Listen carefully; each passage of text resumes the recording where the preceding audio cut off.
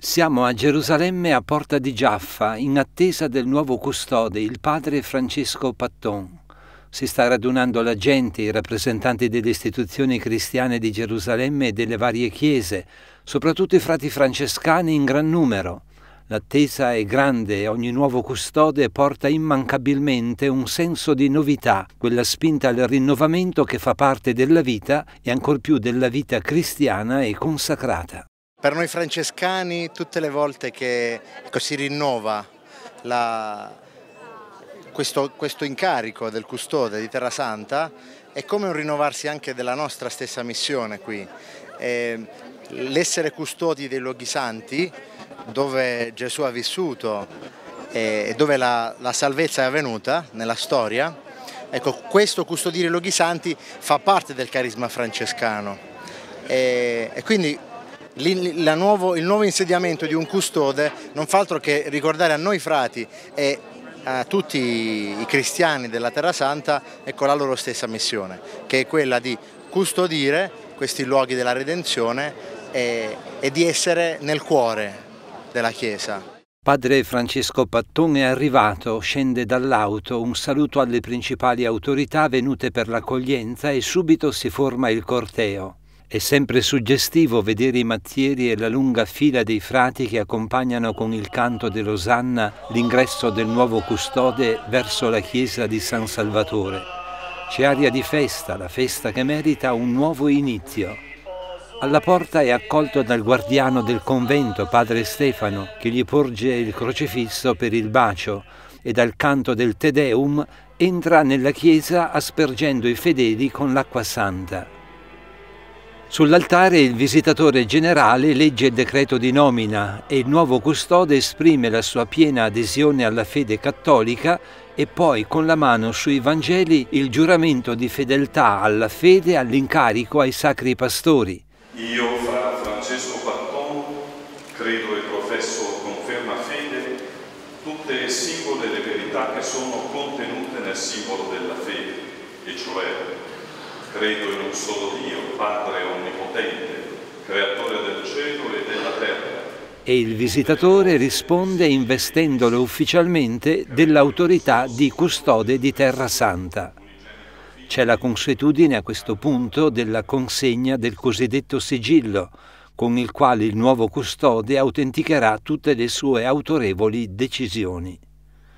Nel discorso di circostanza, padre Francesco Patton partendo dallo stupore con cui ha accolto la proposta di essere custode, ha detto di aver accettato l'incarico con trepidazione e fiducia, innanzitutto nel Signore, che è il vero custode, e poi nel fatto di sentirsi accolto dagli altri frati come un nuovo ultimo fratello. Gli auguriamo a lui, con la presenza di tutto l'ordine, eh, auguriamo un buon servizio, sicuramente come frate e come minori, e in questo tempo che ha bisogno di sicuramente della fratellanza con tutta questa realtà in Oriente e lui mi pare che, ci pare che la scelta eh, sia dell'ordine del, del, governo generale sia della Santa Sede è stata per incoraggiare questa presenza di fraternità, di, di, di un uomo che è capace di, del dialogo nella diversità, per cui questo per noi è stato è un momento molto significativo oltre a essere un nuovo custode, è un custode che viene a un servizio nuovo per lui, nuovo per la custodia. La celebrazione di insediamento si conclude con l'abbraccio dei frati. Uno ad uno lo stringono in segno di obbedienza ma soprattutto di amore, quell'amore fraterno che costituisce la forza, la pace e la simpatia di cui gode l'ordine francescano. Si apprezza il nome stesso del nuovo custode, che dopo Papa Francesco è diventato ancora più caro e significativo per i francescani. Un nome che ci ispira speranza e mi ha fatto subito pensare in questo, questo evento bellissimo di accoglienza fraterna di pensare come Gesù ha consegnato la chiave a Pietro e la fiducia è, un, è, una, è una fiducia che rinforza nella presenza. È entrato nella grandezza dell'ufficio è entrato in modo molto semplice, fraterno, ha chiesto l'accoglienza di fratello e l'accoglienza come Gesù Cristo chiede questa accoglienza a tante persone. In nome di tutti i cristiani qui in Terra Santa eh, noi diciamo eh, benvenuto perché il, il tuo ruolo come custode rappresenta la Santa Sede, ci fa onore, non soltanto a noi frati francescani, ma a tutta la Chiesa, in tutte le chiese che si trovano in Terra Santa. Nel salone della custodia si conclude con un rinfresco in mezzo alla rumorosa gioia del momento di festa. Già si pensa alle decisioni del nuovo superiore, ma senza timore, anzi con la speranza di averlo per primi nel campo di lavoro affidato ad ogni francescano. Soprattutto una grande gioia per noi francescani che eh, accogliamo il nostro nuovo superiore, almeno per i prossimi sei anni eh, speriamo. E, ehm, eh, io che vivo ad Acri per esempio vengo a rappresentare la città anche, Acri, San Giovanni d'Acri è la porta del francescanesimo dove c'è stato il primo convento, l'anno prossimo ci saranno, eh, festeggeremo gli 800 anni della fondazione del primo convento. E fra due anni eh, ci, sarà il, ci, sarà il, giubileo dell'arrivo di San Francesco, quindi a, a a buon ragione riteniamo che il primo convento che dovrebbe visitare il padre, nuovo padre custode dovrebbe essere il, eh, il convento di San Giovanni d'Acre, la comunità e i problemi cristiani che abbiamo a San Giovanni d'Acre.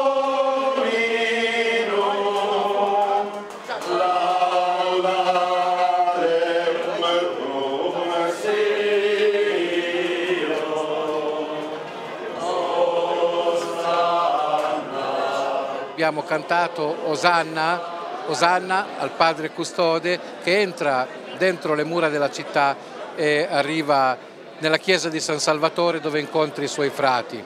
Questo è, è, stato, è una cosa molto suggestiva, bisogna dirlo. Poi per quanto mi riguarda, essendo decano dello Studium Biblicum Franciscanum, devo dire che Padre Custode conosce poco la Terra Santa, ma conosce molto bene lo Studium infatti nelle due volte che è venuto in Terra Santa la sua visita ha avuto sempre a che fare con lo studio biblico. Di questo gli siamo grati e speriamo di poter collaborare per quello che possiamo con lui. In mezzo a tutti gli altri, trasmettendo un vero senso di fraternità, padre Francesco Patton, originario di Trento, ribadisce i sentimenti che lo stanno accompagnando in questi giorni. Sì, io ho parlato di una nuova vocazione perché anche arrivato diciamo dopo una lunga esperienza di governo e di servizio in provincia e anche per l'ordine eh, pensavo che avrei avuto modo per un po' di tempo di vivere anche la vita del frate normale pensavo di poter tornare alla pastorale, alla predicazione, a fare le cose che so fare. E invece è arrivata questa chiamata perché di fatto è stata una richiesta di assumere un servizio nuovo.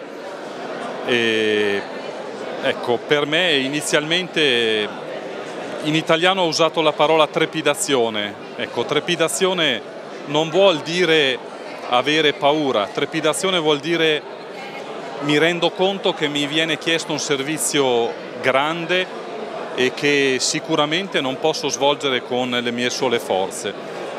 Eh, trepidazione è quello che noi abbiamo quando ci rendiamo conto che è Dio a chiederci qualcosa. E al tempo stesso per questo ho detto che c'è anche fiducia da parte mia, perché appunto se è volontà del Signore che svolga questo servizio, sarà anche lui a guidarmi, ad aiutarmi, a sostenermi. In realtà io confido molto anche sull'aiuto dei frati della custodia di Terra Santa.